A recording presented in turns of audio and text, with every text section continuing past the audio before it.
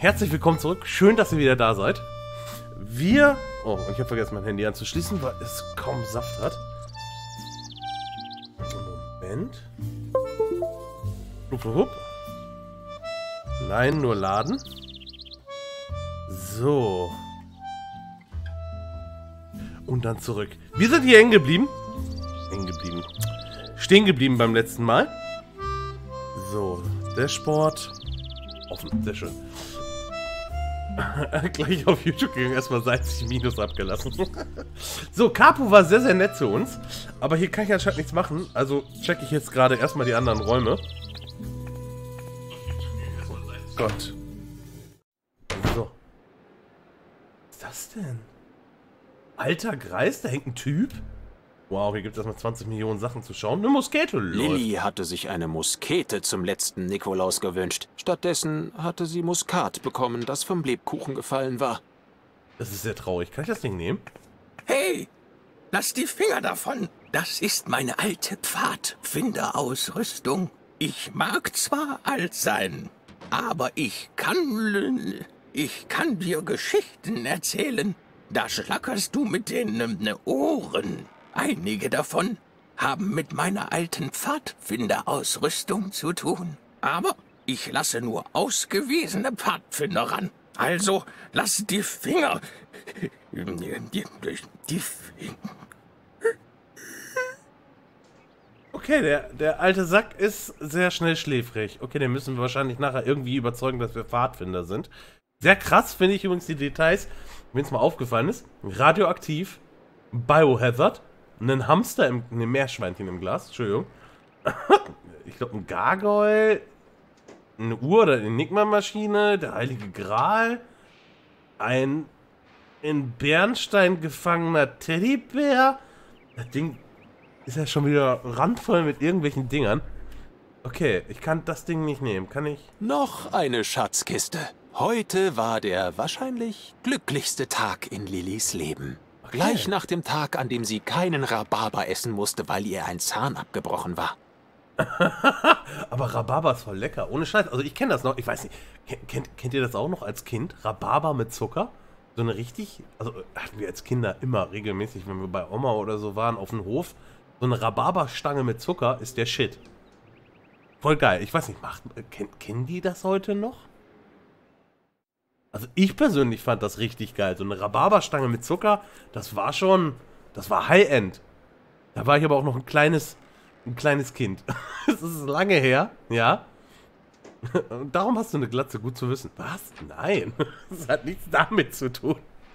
Wir versuchen das Ding zu öffnen, aber ich habe die Sorge, dass Opa da auch wieder wach wird. Hey, lass die Finger davon. Das ist meine alte Pfadfinderausrüstung. Da lasse ich nur ausgewiesene Pfadfinder ran.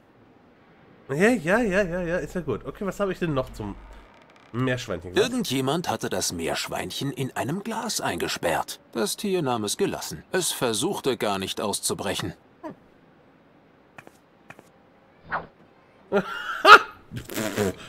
Meerschweinchen im Glas.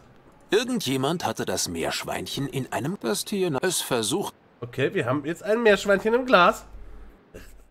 Regalplatz? In dem Regal gab es drei leere Sockel. Das konnte etwas bedeuten. Oder auch nicht. Muss ich...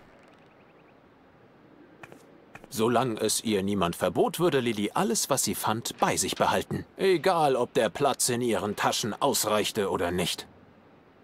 Ja, ja, da steht noch ein Glas hier, siehst du? Ja, hab ich schon gesehen.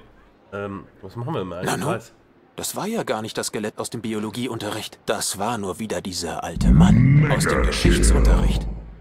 Fünf Monate. O unterstrich O dachte, es wären mehr. Danke für den Resubscribe, Ben. Äh, ja, Twitch hat das alles nochmal ausgelöst, äh, so dass ihr also nochmal umgestellt den, den Sub-Ding, damit ihr das alle nochmal nachträglich auslösen könnt.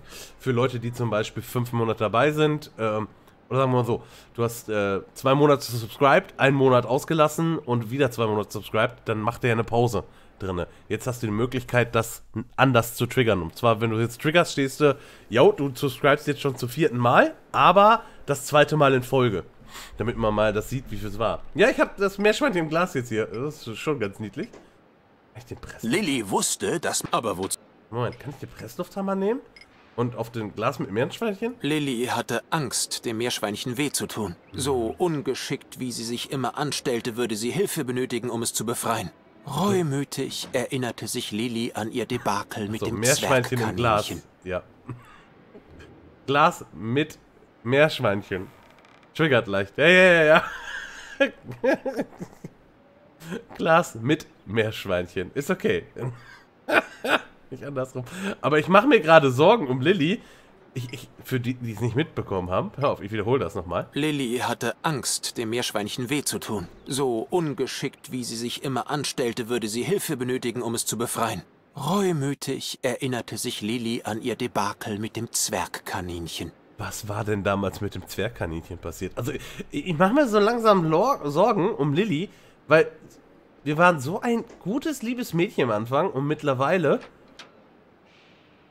kommen da immer mehr Abgründe. Ja. Wo ich mir denke, so, wow. Ja, das ist echt so eine Frage, bei der ich mir auch nicht sicher bin. Ähm, Oh, Besuch. Hi. Was für ein seltenes, seltenes, seltenes Tier. Der Habicht. Aber ich meine nicht das Remake. Ich meine das Original mit, mit extra viel Ketchup, bitte.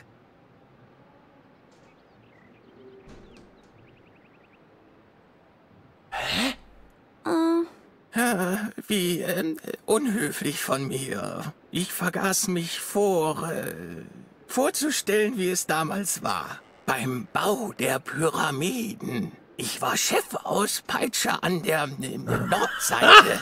ja, ja.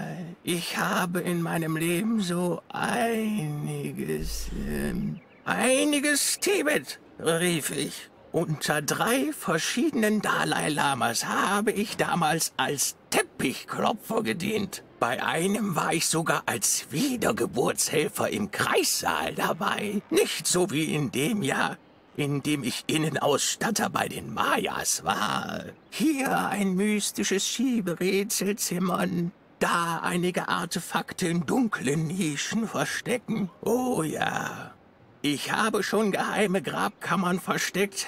Da hast du noch in die, äh, in die Rockband mit dem Namen Inquisition Overload. Aber die ist leider gefloppt. Die Zeit war einfach noch nicht reif für diese Art von Musik.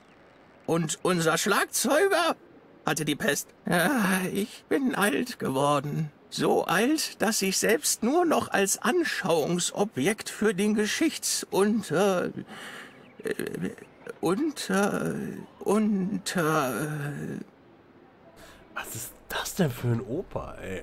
Ah, hallo? Chefauspeitscher an der Nordseite. Kann man mal machen. Ja, also Opa ist irgendwie komisch. Irgendwie sehr komisch.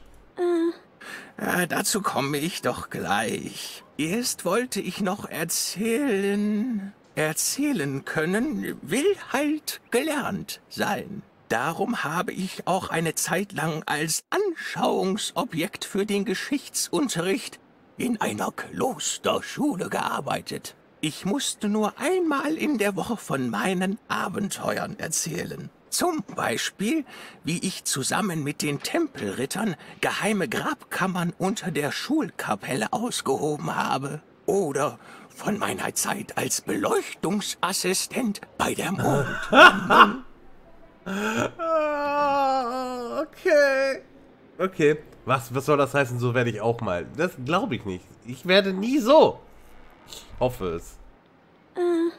Ja, dazu komme ich doch gleich. Erst wollte ich noch erzählen. Erzählen können will halt gelernt sein. Darum habe ich auch eine Zeit lang als Anschau. Ich musste nur ein zum Beispiel oder Okay, das triggert denselben Kram.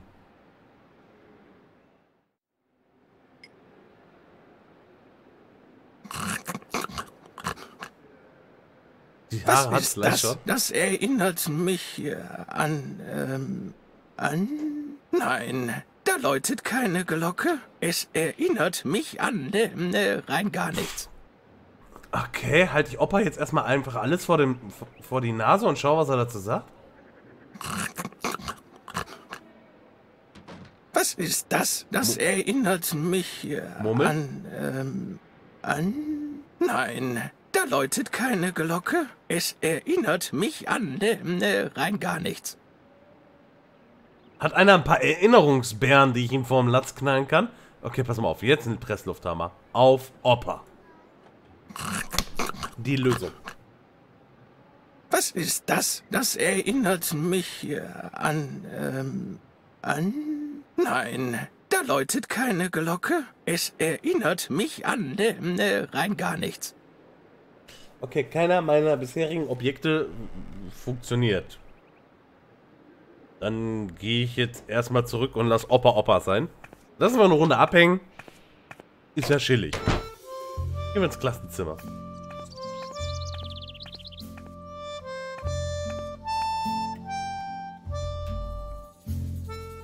Okay, ich habe drei Objekte. Was mir ein bisschen fehlt, und das fand ich echt super im ersten Teil, auch wenn es zwischendurch ein bisschen Spoiler war, aber immer wenn man so alles äh, durchgeklickt hatte, gab es ja die Möglichkeit, sich die Entwicklerkommentare von Poki nochmal anzuhören. Die waren super. Mir fehlt Poki so ein bisschen, bin ich ehrlich.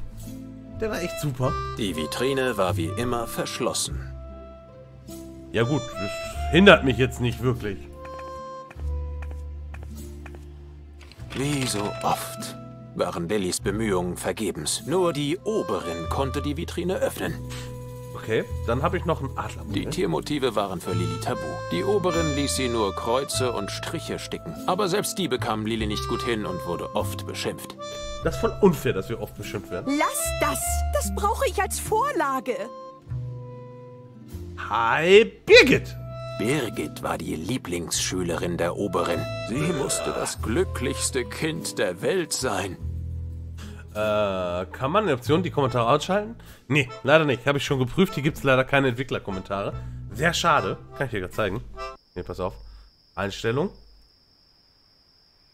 Leider.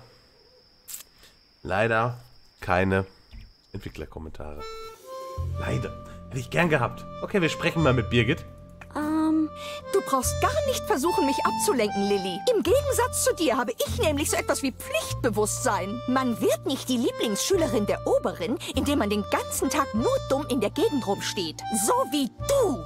Ich arbeite hart für die ganzen Auszeichnungen und Belobigungen. Das Einzige, was meinem Lebenslauf zur Perfektion fehlt, ist das goldene Pfadfinderabzeichen am Bande. Darum mache ich auch Überstunden, um meine Stickkunst zu perfektionieren. Die Oberin liebt diese Stickereien, denn die Tiermotive vermitteln wichtige Werte. Aber davon verstehst du nichts. Im Sticken warst du schon immer miserabel. Wie in eigentlich allem. Es gibt doch Entwicklerkommentare? Wo? Habe ich nirgendwo gesehen, Cesrix. Äh, okay, wir klären jetzt erstmal hier die, die, die vorhandenen Optionen, die wir haben. Das muss man sich extra dazu kaufen, oder was? Du sollst mich nicht stören. So bekomme ich ja nie meine letzte Auszeichnung. Ah, okay. Das goldene Pfadfinderabzeichen am Bande. Ach ja. Ruhe jetzt. Gerade hatte ich eine Inspiration für das Motiv des fehlenden Kantinenbanners. Verdammt! Jetzt ist sie futsch. Danke, ganz toll, Lilly. Wenn du helfen willst, frag die Oberin nach einem geeigneten Tiermodell. Meine Vorlagen habe ich schon alle durch. Und denk daran, die Oberin ist um diese Uhrzeit immer in der Kantine und trinkt ihren Beruhigungstee. Also verirr dich nicht in ihr Büro. Alleine sollen wir da nicht rein. Und beeil dich ein wenig. Meine Noten hängen davon ab. Wow, du bist auch so ein richtig harter Sympathieträger, Birgit. Oh. Wende dich mit deinen Wehwehchen an die Oberin. Noch bin ich nicht ihre Stellvertreterin. Vielleicht ändert sich das, sobald ich all meine Auszeichnungen beisammen habe. Ihre Lieblingsschülerin bin ich ja bereits. Ähm, falls du dich fragst, was ich hier tue, man nennt es Sticken. Ich weiß, das ist nicht gerade dein Fachgebiet. Sonst hätte dir die Oberin wohl kaum verboten, am Stickkurs teilzunehmen. Zu dumm. Ich weiß ja, wie viel Spaß dir das Sticken immer gemacht hat. Lilly musste Birgit wohl recht geben. Ihre fleißige Freundin hatte wirklich viel mehr Talent. Das war noch lange kein Grund für Lilly, ihr eine unheilbare Krankheit an den Hals zu wünschen. Weder eine mit nässendem Ausschlag, noch eine, bei der man die Lungenbläschen aushustet. Danke, Fest. Nach der Folge nehme ich's an. Jetzt komm doch mal zum Punkt. Dir fehlen scheinbar ein paar wichtige Lektionen in Sachen Werte und Normen. Hast du aus meinen mehrfach prämierten Stickereien denn gar nichts gelernt? Nein. Jedem Tier lässt sich eine Charaktereigenschaft zuordnen. So steht der Bär für Stärke und der Hirsch für Heldenmut. Es gibt natürlich auch Negativvorbilder. Das Stachelschwein zum Beispiel ist besonders lahm und schläfrig. Darum wird man es auch nie auf einem meiner Banner finden. Aber vielleicht in deinem Familienwappen.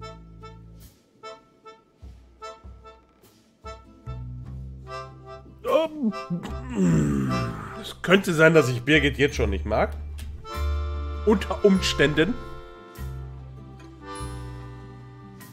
Der Hirsch steht für Heldenmut? Hm, da habe ich bei Games of Thrones das anders gelernt. ja, und wie gesagt, vielen lieben Dank, Sess. Der gute Sess hat tatsächlich gerade äh, mir den DLC mit den Entwicklerkommentare geschenkt. Den werde ich in der nächsten, also nach Beendigung dieser Folge, werde ich das Spiel beenden, das Ding installieren. Und dann gehen wir natürlich die Entwicklerkommentare nochmal nachträglich durch. Ich weiß nur nicht, ob wir nochmal wieder nach draußen kommen in den Gebieten, in denen wir schon waren. Wäre tatsächlich witzig gewesen, weil ich die Entwicklerkommentare wirklich großartig fand beim ersten Teil. Das war schon cool, Poke die ganze Zeit zu hören. Und ich muss auch sagen, die Musik ist sehr angenehm. Sie ist nicht penetrant, sie ist chillig, sie passt. Aufnahmen wegwerfen von vorne? Nein. Nein, nein, nein, nein, nein, nein, nein. Das machen wir nicht. Wir gehen das in Ruhe nachher nochmal durch. Ich glaube, hier muss ich ja sowieso noch ein paar Mal hin. Und ich sag, die Startgebiete, ach, die kriegen wir schon von alleine hin. Das kriegen wir auch noch mal hin. Wir haben ja sowieso hier noch Zeit. Komm, wir gehen mal ins Treppenhaus. Ich hoffe, oh, Bucky spoilert nicht zu sehr. Hm. Okay, jetzt habe ich drei Masken. Hier vorne ist eine Kronleuchterbefestigung und ein Rundgang.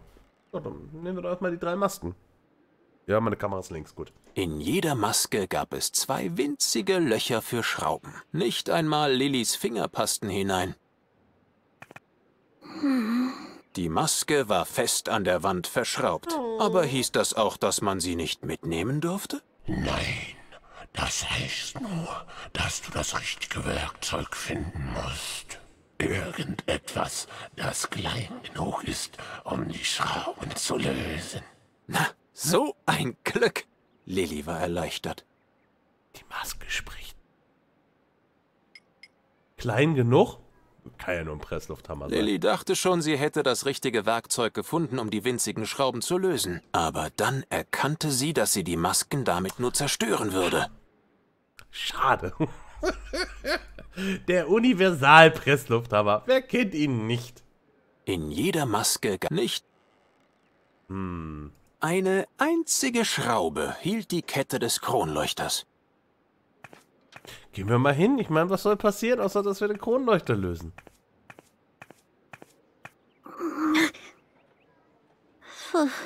Mit bloßen Händen konnte Lilly die Schraube nicht lösen. Sie brauchte ein anderes Werkzeug.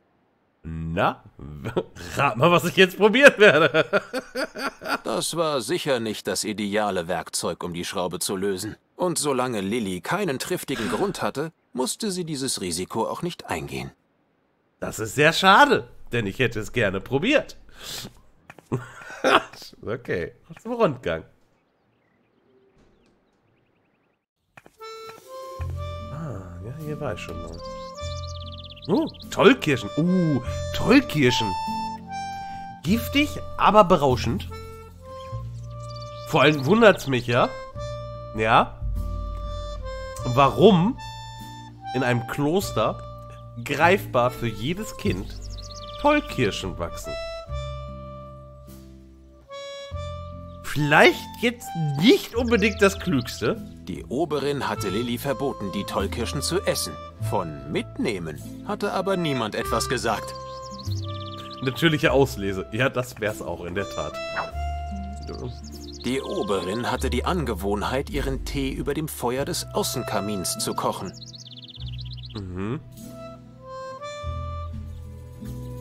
Oh, das ist ein Haken. Lilly hatte Gerüchte gehört, dass an diesem Haken unartige Kinder aufgehängt wurden. Ansonsten benutzte die Oberin ihn, um ihre Teekanne über dem Feuer zu halten. Oben an der Wand schien es eine Art Haltevorrichtung zu geben. Aber ohne mehr Licht kam Lilly hier nicht weiter. Okay. Ich glaube, ich muss da nachher Tee drüber machen und die Tollbeeren reinschmeißen. Aber das ist jetzt Tollkirschen reinwerfen. Ist auch nur eine Vermutung. So, liebe Leute. Ich bedanke mich fürs Zuschauen. Wir sehen uns in der nächsten Folge. Ich werde jetzt schnell den DSC installieren. Und dann haben wir vielleicht die Entwicklerkommentare in der nächsten Folge wieder dabei. Macht's gut, euer Sly. Ciao.